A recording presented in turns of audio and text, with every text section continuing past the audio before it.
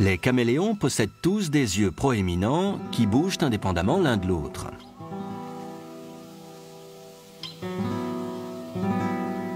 Ils peuvent ainsi regarder dans deux directions différentes en même temps et ne jamais manquer une proie potentielle.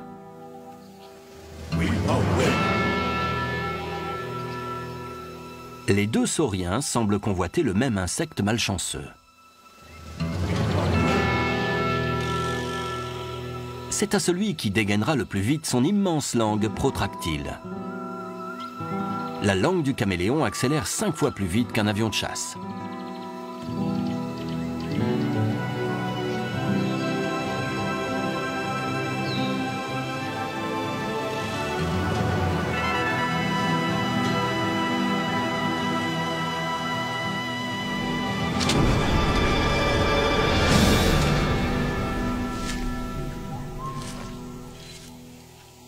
Ces deux mâles ont de la chance.